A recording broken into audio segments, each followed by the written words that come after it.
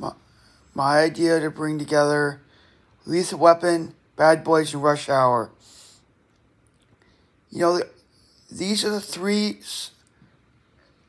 famous movie franchises that been watched many times around the world. These are three movie series that you love to watch over and over again.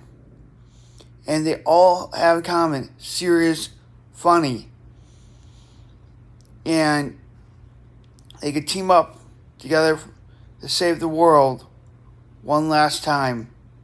You could do Lethal 5, Rush Hour 4, Bad Boys 5.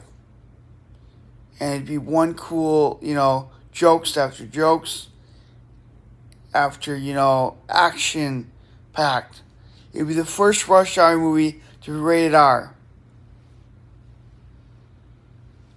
And we'd actually do two versions of it. So, first version we rated R, and the second version would be more action, more blood and guts, more explosions, more everything, and make it NC 17.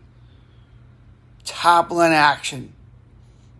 And and we would do it in style.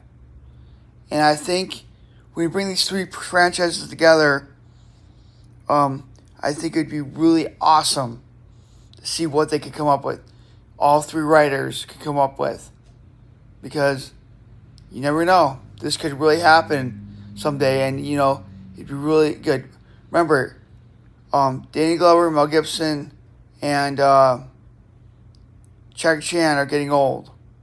So we gotta do this quick.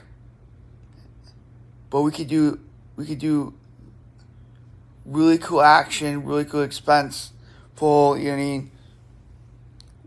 One movie would be R rated and the other version would be NC seventeen, where you could do unstoppable action, nonstop, where you would have nothing but not the most action packed movie ever came out in history. We would have the writers watch action packed movies, all action packed movies, and make the, the best action packed movie with more action than any other movie ever came put in one movie and be a three part series with with two hours each movie.